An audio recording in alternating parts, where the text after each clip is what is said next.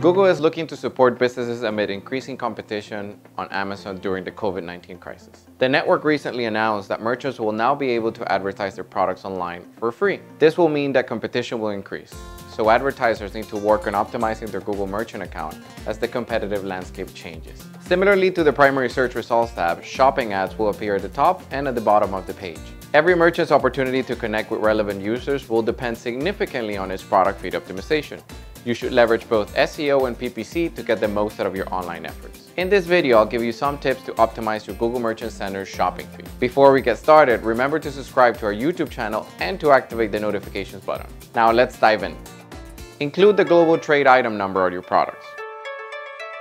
The Global Trade Item Number, or GTIN, has become a significant part of the optimization process. The GTIN is required if you're a reseller of goods and is usually supplied by your manufacturer.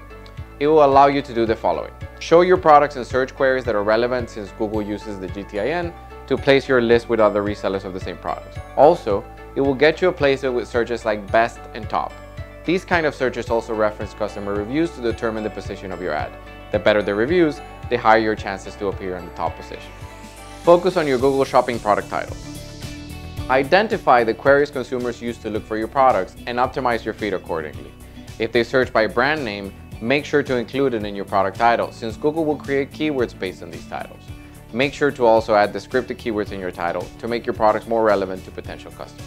Engagement data will help you understand your customer's intent and find applicable keywords to boost your product title. If you're not sure about how customers search for your products, use the search term report to learn which queries convert best and add them to your title.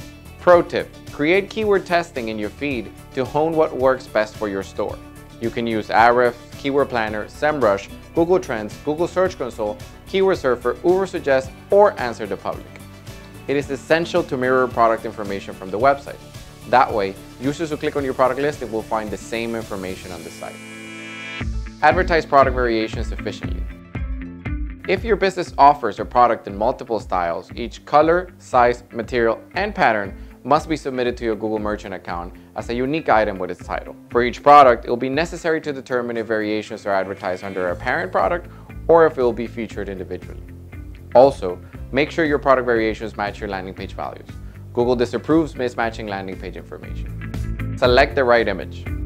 Product images are the first thing users see on their queries, so make sure these look great enough to capture your customer's attention. Make sure to use high quality pictures, match details with the featured image, color, size, material. Remove any text over the picture, watermarks, sales manufacturer parts, or numbers. Test product images versus lifestyle images. Also, keep in mind that if you do not add a product image, Google could show any image from your merchant center. Highlight sales and merchant promotions. You'll have access to sales and merchant promotions with free product listings. These features trigger people's buying habits. If you're running a Google Shopping campaign, they can lead to high CTRs and lower CPAs. For example, let's say there's a 25% off on one of your products.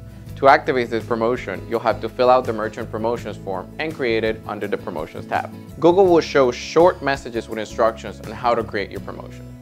It will require filling out specifics such as the start and end date of your promotion, if you're going to target specific products versus all products, promotional codes. As your e-commerce works on optimizing its organic presence, it will become easier and cheaper to be present where consumers are. One of the keys to being successful is paying attention to all of Google requirements. If you have any questions about optimizing your merchant center, leave your comments below, subscribe to our blog, or contact me.